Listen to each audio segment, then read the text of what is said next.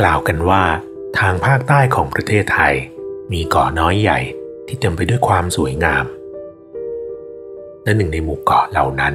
มีเกาะขนาดใหญ่อยู่เกาะหนึ่ง ที่เรียกได้ว่ามีขนาดใหญ่ที่สุดในประเทศ เป็นเกาะเพียงเกาะเดียวที่ไม่เหมือนใคร เพราะพื้นที่ทั้งหมดของเกาะนั้น คือจังหวัด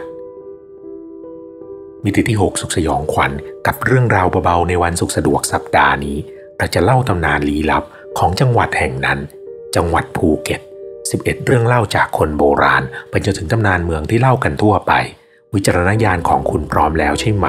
ถ้าพร้อมก็จงนำมาวางไว้ใกล้ๆ แล้วค่อยมาดูกันต่อไปว่า เรื่องราวทั้งหมดนี้ มันคืออะไรกันแน่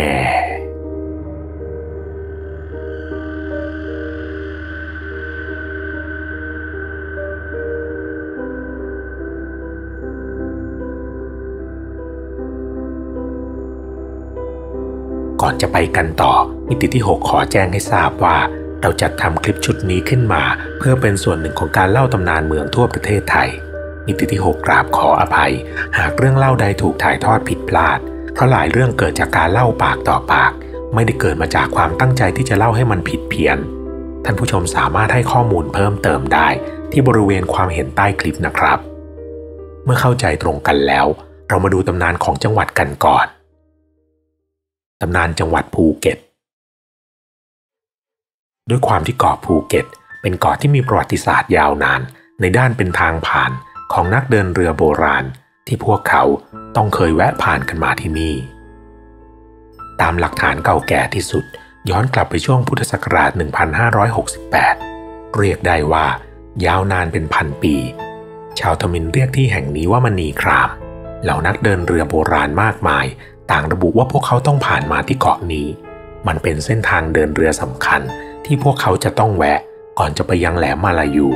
ขนาดแผนที่เดินทางของชาวยุโรปโบราณ ยังรู้ว่าโลกมีเกาะแห่งนี้ตั้งอยู่ ชาวปโตเลมีเคยบันทึกว่าช่วงระหว่างการเดินทางจากแหลมสุวรรณภูมิ ลงสู่แหลมมาลายูนั้น พวกเขาจะต้องผ่านที่นั่น ที่ซึ่งพวกเขาเรียกมันว่า แหลมจังซีหลอน ซึ่งก็ได้นักวิชาการยุคปัจจุบัน มายืนยันกันว่าทุกสถานที่ที่ถูกเอ่ยมาเหล่านั้น ก็คือที่นั่นเกาะภูเก็ต ในด้านประวัติศาสตร์ของไทย ภูเก็ตเคยเป็นส่วนหนึ่งของอาณาจักรตามพรลิงเรื่อยมาจนยุคอาณาจักรศรีวิชัย มาจนถึงอาณาจักรสิริธรรมนครนั้น ภูเก็ตเป็นที่รู้จักในชื่อเมืองตะกัวกลาง ถือเป็นเมืองลำดับที่ 11 จากหัวเมือง 12 นักสัตว์ มีตราประจำเมืองเป็นรูปสุนัข มีชาวต่างชาติมาพักอาศัย อยู่เป็นจำนวนมาก จากบันทึกสมัยกรุงศรีอยุธยา ระบุว่าบนเกาะแห่งนี้เคยมีกลุ่มพ่อค้าชาวฮอลันดา เดินทางขึ้นฝั่งมา เพื่อนำดีบุกเข้ามาขาย ส่งผลทำให้ทางตอนใต้และตะวันตก ได้เป็นแหล่งพักพิงอาศัยของพวกพ่อค้ายุโรปเหล่านั้น ในขณะที่ทางตอนเหนือและตอนกลาง ยังคงเป็นส่วนหนึ่งของการปกครองของสยามประเทศ ในช่วงกรุงรัตนโกสินทร์ตอนต้น ทัพพม่ายกทัพเข้ามา หมายบุกเข้าตีหัวเมืองทางใต้ พวกเขาบุกมาจนถึงเมืองถลาง มันเป็นช่วงเวลาที่เจ้าเมืองได้ถึงแก่กรรมพอดี ตอนนั้นคุณหญิงจันผู้เป็นภริยา และคุณมุกน้องสาวของคุณหญิง ได้รวบรวมกำลังพลเท่าที่มี พุ่งรบต่อตีกับกองทัพพม่า ผลที่ได้กลับมานั้นชัยชนะตกเป็นฝ่ายของคุณหญิงจันและคุณมุกทำให้ในวันที่ 13 มิถุนายน พุทธศักราช 2328 รัชกาลที่1หรือพระบาทสมเด็จพระพุทธยอดฟ้าจุฬาโลกมหาราช ได้โปรดเกล้าแต่งตั้งคุณหญิงจันทร์ให้เป็นท้าวเทพกระษัตรีและคุณมุกตั้งให้เป็นท้าวศรีสุนทร และตั้งแต่รัชสมัยนั้น พระบาทสมเด็จพระพุทธยอดฟ้าก็ได้สั่งให้รวบรวมหัวเมือง ตามแถบชายฝั่งทะเลตะวันตก ให้เป็นมณฑลภูเก็ต ขณะเดียวกันนั้น ทั้งชาวตะวันตก ชาวจีนและชาวอินเดีย ต่างเดินทางอพยพเข้ามาหาแผ่นดินใหม่ ตามแถบคาบสมุทรมาลายูไปจนถึงช่องแคบมัลลักกา พวกเขาหลายคนได้เดินทางมาอาศัยอยู่บนเกาะภูเก็ต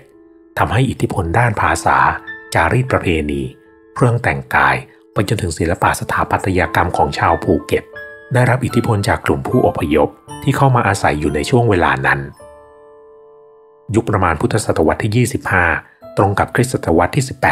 18-19 มันเป็นช่วงปฏิวัติอุตสาหกรรม ที่ชาวต่างชาติบันทึกไว้ในประวัติศาสตร์ของพวกเขา พวกเขาเดินทางเข้ามาที่ภูเก็ต โดยเฉพาะบริเวณทุ่งคา เนื่องจากที่นั่นมันมีแร่ดีบุกอยู่เป็นจำนวนมาก ผลของการอพยพทำให้ความเจริญอันหลากหลาย เข้ามาพัฒนาเมืองภูเก็ตอย่างต่อเนื่อง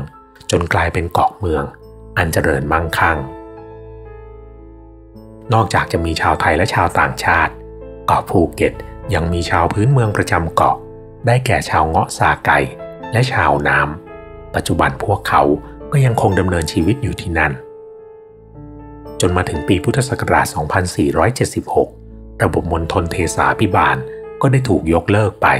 ทำให้ชื่อของเกาะภูเก็ต ได้กลายมาเป็นชื่อเรียกของจังหวัด ที่มีพื้นที่ทั้งหมดเป็นเกาะ มีขนาดใหญ่เป็นอันดับที่ 76 ของประเทศ มีประชากรเป็นอันดับที่ 62 แต่มีความหนาแน่นของประชากรต่อพื้นที่เป็นอันดับที่ 5 เจ้าของคำขวัญประจำจังหวัด ไข่มุกอันดามัน สวรรค์เมืองใต้ หาดทรายสีทองสองวีรสตรี บารมีหลวงพ่อแช่ม นามว่าจังหวัดภูเก็ตไปด้วยประการละชนี และต่อไปเรามาดูตำนานต่างๆกันบ้าง ตำนานสารหลักเมืองภูเก็ต เรื่องเล่าตำนานจากคนโบราณ สารหลักเมืองภูเก็ตนั้น มีอยู่สี่แห่ง แต่ละแห่งล้วนต้องผ่านพิธีกรรมเพื่อสร้างศรัทธาด้วยการใช้หญิงที่มีสี่หูสี่ตา ที่หมายถึงหญิงกำลังมีคัน มาฝังไว้ที่บริเวณฐานเสาหลักของทุกศาลแห่งที่หนึ่งศาลหลักเมืองเมืองใหม่ ตั้งอยู่ที่บ้านเมืองใหม่ ตรงหลักริมถนนเทพกษัตรีอำเภอถลาง สร้างขึ้นตั้งแต่สมัยรัชกาลที่ 3 ตรงกับช่วงปีพุทธศักราช 2352 ปัจจุบันเป็นเสาที่สร้างขึ้นมาใหม่ ด้วยการสร้างทับตัวเสาเก่าเอาไว้ เนื่องในโอกาสฉลองครบรอบ 200 ปี วีรสตรีเมืองถลาง ในช่วงปี 2538 ตัวเสาตั้งอยู่ในศาลาสองชั้น ด้านหน้าเป็นประติมากรรมลวดลายไทย หันหน้าไปทางทิศตะวันตก ทางเดินปูด้วยหินอ่อน มีป้ายเขียนบอกให้รู้ว่า ที่นั่นคือศาลเจ้าแม่หลักเมือง แห่งที่สอง ศาลหลักเมืองท่าเรือ ตั้งอยู่ณบ้านท่าเรือตำบลศรีสุนทรอยู่ในศาลาสองชั้นเช่นกัน ด้านหน้าบานมีประติมากรรมรูปเทพนม งานก่อสร้างรอบบริเวณ ใกล้เคียงกับศาลหลักเมืองแห่งแรก และยังมีเรือพายชนิดหนึ่งคนนั่ง กับไม้พายพร้อมใช้งานอยู่ตรงนั้น ถูกวางอยู่หลังป้ายพระคาถา บูชาเสาหลักเมืองแห่งนี้ด้วย มีตำนานเล่าขานแม่หลักเมืองของที่นี่ เคยไปเข้าฝันคนสมัยก่อนเอาไว้ ท่านร้องขอเรือพายสักหนึ่งลำ เพื่อจะได้เอาไว้พายไปไหนมาไหนกับเขาบ้าง เนื่องจากศาลแห่งนี้เคยเป็นพื้นที่ติดชายทะเล ก็ถือว่าเป็นสิ่งที่สมควรถวายให้กับเจ้าแม่ แน่นอนว่าใครก็ตามที่แวะมาที่ศาลแห่งนี้ จะต้องท่องคาถาบูชากันท่วนทั่ว เพื่อเสริมสิริมงคลและโชคลาภที่แล้วแต่ว่า คนไหนจะมองเห็น แห่งที่สามศาลหลักเมืองเลพัง ตั้งอยู่ที่หมู่สี่ตำบลเชิงทะเล ในบริเวณหาดเลพัง ปัจจุบันอยู่ข้างโรงแรมบายันทรี เป็นศาลหลักเมืองที่ประดับไปด้วยพันไม้ ทั้งไม้ดอกและไม้ประดับ ที่ขึ้นป้ายเด่นชัดว่า เจ้าแม่ที่ดูแลรักษาบริเวณนี้ ท่านชื่อเจ้าแม่เกษินี ที่ด้านซ้ายมีศาลเล็กๆ ติดป้ายเขียนเอาไว้ด้วยว่าศาลโต๊ะยา น่าเสียดายที่ไม่มีป้ายเล่าถึงประวัติของศาลโต๊ะยาแห่งนี้ ใครพอจะรู้เรื่องดี โปรดเล่าให้เรารู้บ้างที่ส่วนของความคิดเห็นนะครับ แห่งที่สี่ศาลหลักเมืองถลางป่าสักป้ายจำรักนามเจ้าแม่ชื่อแม่สร้อยแก้ว ตั้งอยู่ในซอยป่าสักซอยสี่ผู้คนที่เดินทางมาบูชาสารหลักเมืองที่นี่ต่างมีความหวังเรื่องชัยชนะ ไม่ว่าจะเรื่องการแข่งขันกีฬา อยากชนะการเลือกตั้งก็ต้องมาที่นี่ เรื่องโชคลาภก็ถือว่าเป็นสิ่งที่ต้องมี เรื่องแบบนี้คงต้องให้พิสูจน์กันเอง ก็ต้องบอกว่าศาลหลักเมืองทั้งสี่ของภูเก็ต ถือเป็นศูนย์รวมจิตใจของคนท้องถิ่น การบูชาสักการะสารหลักเมือง ก็เหมือนกับการนำสิ่งมงคลให้มาอยู่กับพวกเขา หากใครได้มีโอกาสมาที่ภูเก็ตสักครั้ง ก็อย่าลืมแวะมาสักการะ กันให้ครบทุกแห่งนะครับ ตำนานพระผุดแห่งวัดพระทอง เว็บไซต์การท่องเที่ยวแห่งประเทศไทย ได้เล่าตำนานสุดมหัศจรรย์เกี่ยวกับวัดแห่งหนึ่งในจังหวัดภูเก็ต 21 กิโลเมตร จากตัวเมืองภูเก็ต ไปตามถนนเทพกษัตรี ผ่านสี่แยกอำเภอถลาง ที่นั่นจะมีวัดเก่าแก่แห่งหนึ่งที่มีเรื่องเล่าอันศักดิ์สิทธิ์ถึงพระพุทธรูปองค์ใหญ่ ซึ่งพระพุทธรูปนั้นมีลักษณะโดดเด่นไม่เหมือนใคร ตัวองค์พระที่เห็นท่านโผล่ขึ้นมาจากพื้นดิน เพียงครึ่งองค์ ตามตำนานเรื่องเล่าบอกว่าสมัยก่อนจุดที่ตั้งวัดเป็นเพียงทุ่งกว้าง ชาวบ้านใช้เลี้ยงสัตว์และทำนา บ้างก็หาอาหารในลำคลอง อยู่มาวันหนึ่ง มีเด็กชายนำกระบือของเขามาเลี้ยงที่ทุ่งตามปกติ เด็กชายนำเชือกมาล่ามกระบือไปผูกไว้ที่ตอไม้ริมคลอง เพื่อให้กระบือได้คลุกคล้ายโคลนตม เด็กชายทิ้งมันไว้แบบนั้น ส่วนตัวเองก็เดินทางกลับมาที่บ้าน แล้วเหตุการณ์ที่เกินจะคาดเดา ก็ได้เกิดขึ้นกับเด็กชายคนนั้น อยู่ดีๆ เขาก็เกิดอาการหน้ามืดเป็นลม สุดท้ายก็ขาดใจตายอย่างกระทันหัน มันเป็นเวลาแทบจะไล่เลี่ยกัน ที่เจ้ากระบือเองก็ตายอยู่ตรงตอไม้ สร้างความเศร้าโศกให้กับพ่อของเด็กชาย ที่ไม่คิดฝันว่าจะสูญเสียผู้สืบสกุล ไปง่ายๆกันแบบนี้ หลังจากเหตุการณ์ผ่านไป วันหนึ่ง พ่อของเด็กชายก็หลับฝัน เขาได้ยินเสียงของใครบางคน มาบอกให้รู้ถึงต้นสายปลายเหตุ ลูกชายของเองมันทำไม่ถูกนำควายไปผูกที่ตอไม้นั่นน่ะมันไม่เท่าไหร่ แต่เด็กคนนั้นมันหาได้รู้ไหม ว่าที่ตอไม้ตรงนั้น มันไม่ใช่ตอไม้ดอกนา นั่นคือพระเกศของพระพุทธรูป ถึงจะสุดวิสัยแต่ก็หาสมควรไม่ พ่อของเด็กชายได้ฟังไม่ทันไร เขาก็สะดุ้งตื่นขึ้นมาเดี๋ยวนั้น ทันทีที่เขาลุกขึ้น พ่อของเด็กก็รีบเดินออกไปตามเพื่อนบ้าน แล้วร้องขอให้ไปที่จุดกระบือตาย เพื่อจะได้ไปทำความสะอาดที่ตอไม้ตรงนั้น พอทุกคนช่วยกันไปทำความสะอาดต่อ ก็พบว่ามันไม่ใช่ตอไม้จริง ๆ ด้วย แต่เป็นส่วนเกศของพระพุทธรูปทองคำ ทุกคนจึงพากันกลับไปบอกชาวบ้านที่เหลือ พวกชาวบ้านต่างพากันมากราบไหว้ ในที่สุดความก็ไปถึงหูเจ้าเมืองตอนนั้น ท่านจึงมีคำสั่งให้ขุดองค์พระขึ้นมา เพื่อจะได้ไปตั้งประดิษฐานกันให้ถูกต้อง ทั้งเจ้าหน้าที่และชาวบ้านจึงมาช่วยกันขุด แต่ก็เหมือนจะมีเรื่องสุดวิสัยเกิดขึ้นมาอีก พวกเขาถูกต่อแตนแถวนั้นรุมต่อย บางคนถึงแก่ชีวิตเพราะพิษของพวกมันปฏิบัติการขุดองค์พระจึงต้องหยุดทันที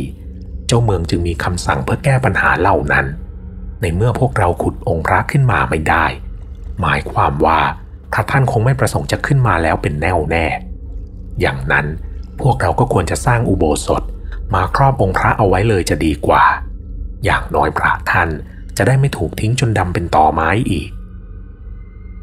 หลังจากการก่อสร้างโบสถ์สำเร็จเสร็จสิ้น ชาวบ้านร้านถิ่นจึงเดินทางมาสักการะองค์ท่าน พวกเขาต่างตั้งชื่อให้พระพุทธรูปนี้ว่าพระผุด เนื่องจากจุดที่ขุดนั้นมาอยู่ที่ครึ่งองค์พระ พวกคนจีนเรียกพระองค์นี้ว่าผู้หุกเพราะเชื่อว่าพระผุดท่านน่าจะมาจากเมืองจีนแน่ๆ นั่นก็เลยทำให้ เมื่อถึงเวลาเทศกาลตรุษจีนของชาวภูเก็ต เหล่าคนจีนที่อยู่ในภูเก็ตไปจนถึงจังหวัดใกล้เคียง จะพากันเดินทางมานมัสการพระผุดทุกวันนี้พวกเขาก็ยังสืบสารประเพณีกันเรื่อยมา ท่ามกลางเรื่องเล่าอีกเรื่องที่เล่ากันไว้ ว่าพระผุดองค์นี้น่าจะมีที่มาอีกแบบ โดยอีกตำนานนั้นกล่าวถึงช่วงปีพุทธศักราช 2328 ตอนนั้นเป็นยุคแห่งสงคราม เหตุการณ์ตรงกับศึกพระเจ้าประดุง ได้ยกพลมาเข้าบุกยึดเมืองถลาง พวกพม่าได้พบกับองค์พระพุทธ จึงพยายามขุดหมายจะนำกลับไปยังเมืองพม่า แต่ขุดไปได้ไม่เท่าไหร่ก็ต้องเจออุปสรรค เป็นฝูงต่อแตนไล่ต่อยจนไม่เป็นอันขุด ในที่สุด พวกพม่าก็ละความพยายาม ปล่อยพระพุทธให้อยู่ตรงนั้นต่อไป เหล่าชาวบ้านที่แอบดู ก็รู้สึกว่าศรัทธาเกิดขึ้นมาเป็นล้นพ้นพวกเขาต่างนำแผ่นทองคำมาหุ้มองค์พระไว้ แล้วพระพุทธก็ได้อยู่ตรงนั้น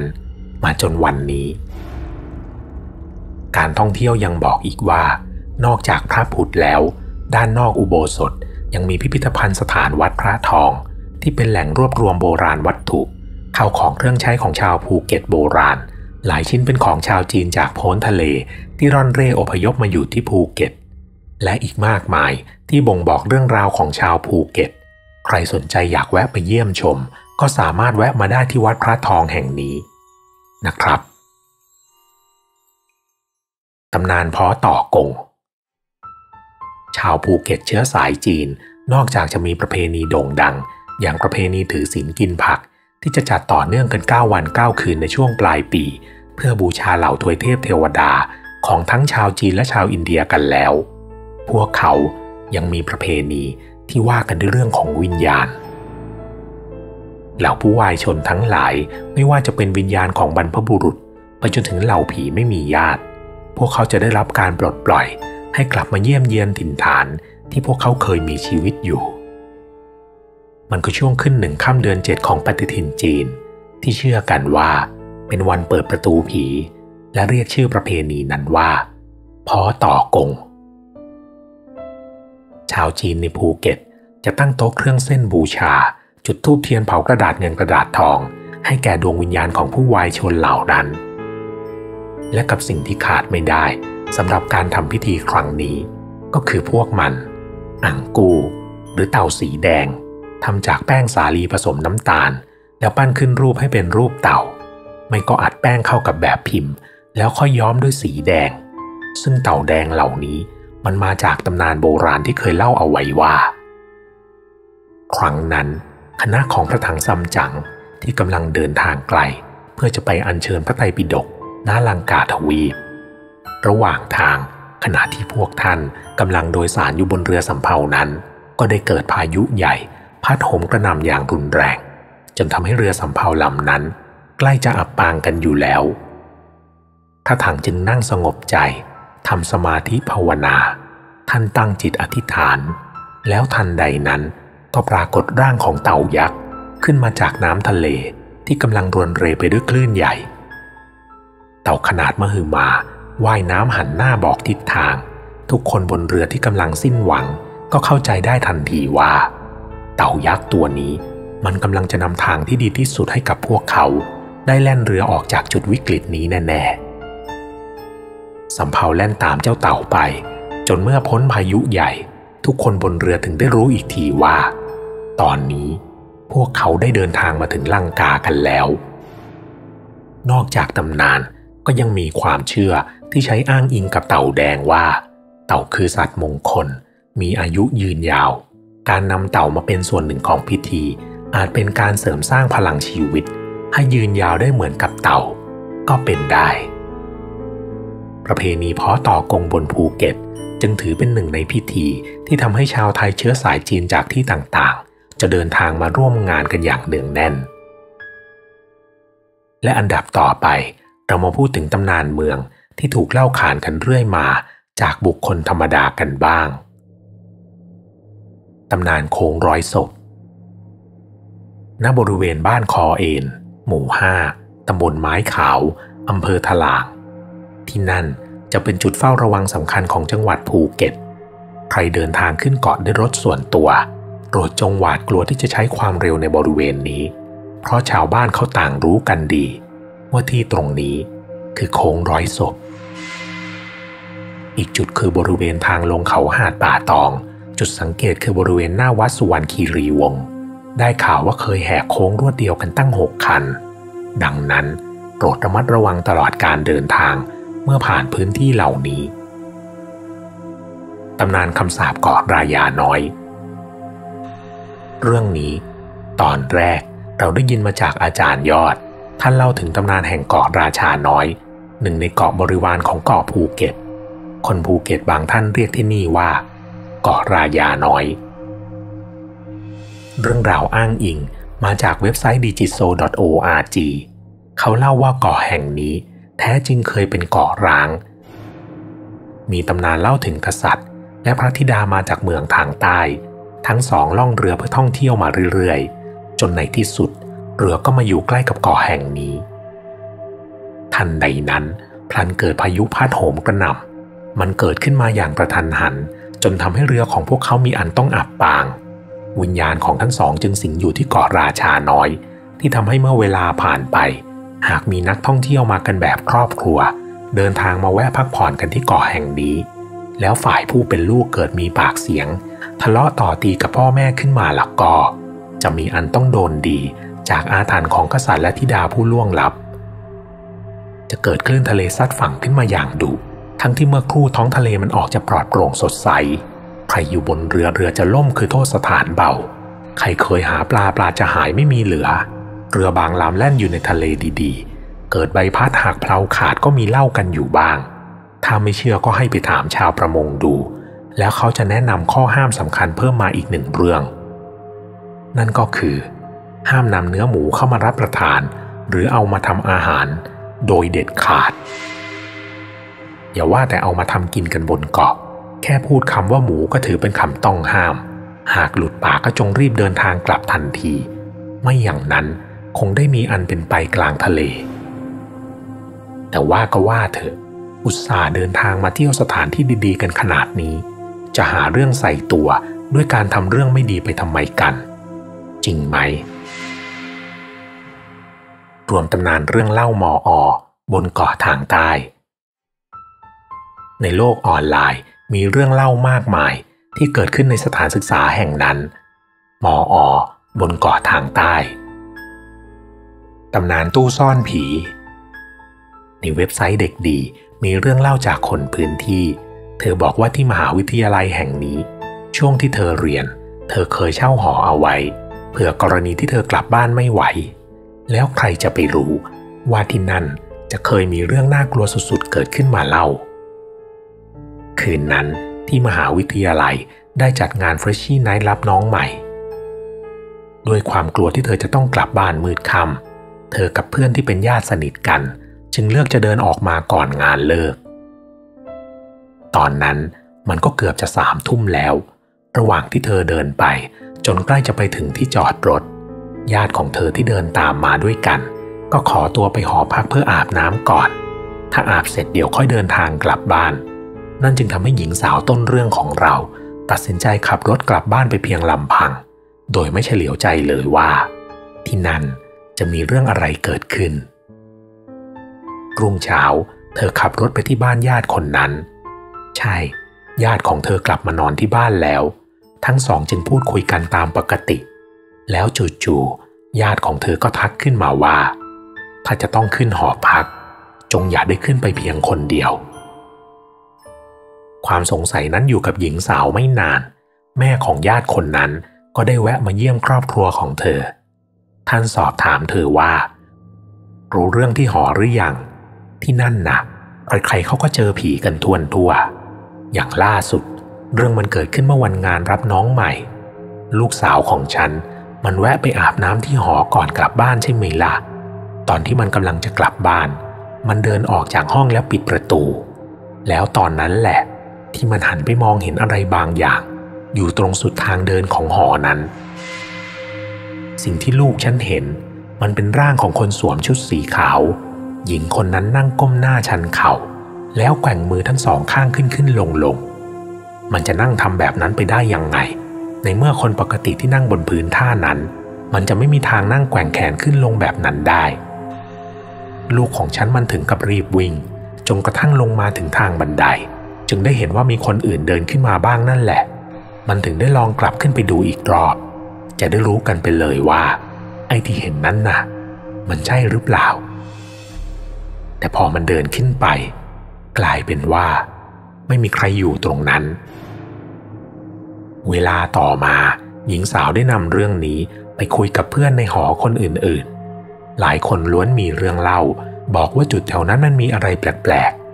ห้องฝั่งตรงข้ามบอกว่าเคยถูกผีอำบางครั้งจะได้ยินเสียงเด็กร้อง พอเสียงนั้นเงียบไป คนที่ได้ยินเสียงจะกลายเป็นอัมพาตชั่วคราว เรื่องแปลกๆยังดำเนินต่อไป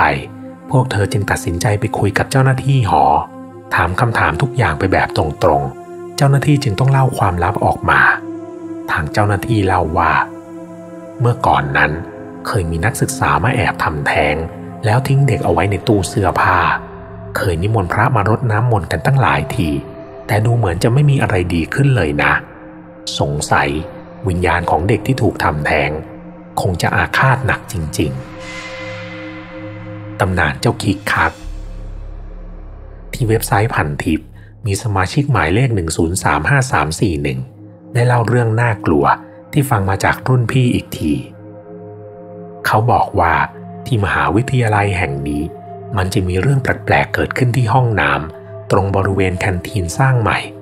แต่รุ่นพี่เขาไม่บอกว่ามันเคยเกิดเรื่องอะไร ได้แต่เล่าไว้ให้ระมัดระวังกัน อีกเรื่องคือการเด็ดดอกไม้ ในมหาวิทยาลัยมีดอกไม้ปลูกไว้หลายจุด เห็นแล้วก็จงอย่าคิดมาเด็ดดูเล่น เคยมีคนทำแล้วเกิดเรื่องแปลกๆขึ้น บางคนนอนแล้วถูกผีอำบางคนเห็นตุ๊กตาเด็กหันมาหัวเราะ มันเอาแต่หัวเราะดังคิกๆ ในขณะที่คนโดนจะขยับตัวไม่ได้ชั่วคราว ชาวมออบนเกาะที่รู้เรื่องนี้ ต่างตั้งชื่อให้เจ้าตุ๊กตานั้นว่า เจ้าคิกคักตำนานผียายสปีด แห่งมออบนเกาะทางใต้มิติที่ 6 เคยบอกไว้แล้ว ว่าตำนานผียายสปีด มันเป็นเรื่องเล่าระดับอินเตอร์ ในเมื่อทุกที่มีผียาย speed ที่ ม.อ. บนเกาะนี้ ย่อมมีเรื่องเล่าของเธออยู่เช่นกัน เรื่องมันต่างกันนิดหน่อย ผียาย speed ของที่นี่ไม่ใช่ผียายแก่หน้าตาแสนน่ากลัว แต่กลับเป็นผีหญิงสาวที่มีอายุไม่ค่อยมาก เธอมักจะคอยวิ่งตามรถที่แล่นผ่าน บางครั้งก็จะออกมาวิ่งตัดหน้ารถ สถานที่พบคือถนนแถวหลังมออ จุดตรงนั้น ผู้คนมากมายบอกว่า ไม่แปลกหรอก ถ้าจะมีผีตรงนั้น สงสัยจะมีหญิงสาว อืม แต่ไม่เอา เราไม่พูด สิ่งที่พูดไม่ได้นั่นแหละ ที่ทำให้จุดดังกล่าว ถูกเรียกว่า ถนนผีย่ายสปีดหลังมออบนเกาะทางใต้ กับเรื่องสุดท้ายเป็นตำนานเมืองแปลกๆ ที่ถูกส่งมาจากท่านผู้ชม ตำนานทำเลตั้งร้านอาถรรพ์ คุณพอนอได้เล่าตำนานนี้ไว้ บนโปรไฟล์ส่วนตัวของเขา คุณพอนอเล่าว่าเขาสังเกตมาหลายปี